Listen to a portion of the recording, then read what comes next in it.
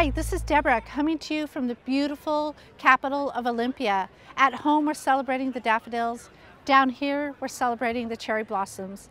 It's been an extraordinary few weeks on addressing our house budget and building the best budget, and for me, I think reflects the values of the 40th.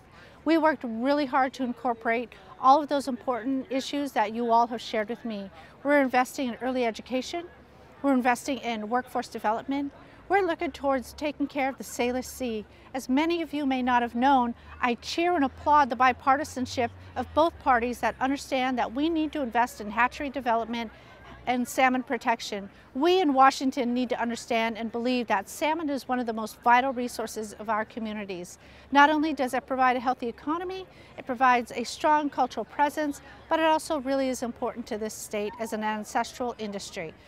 We are really excited to be able to take a look at other areas that we need to invest in, and that's infrastructure of our communities from roads and bridges, but also really taking care of our homelessness situation and our affordable housing.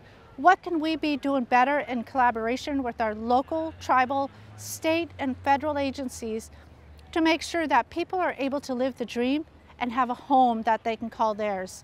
I'm excited to work on this House budget. I'm excited to working with my colleagues. I think we're going to come out strong and I look forward to seeing all of you at home in just a few weeks.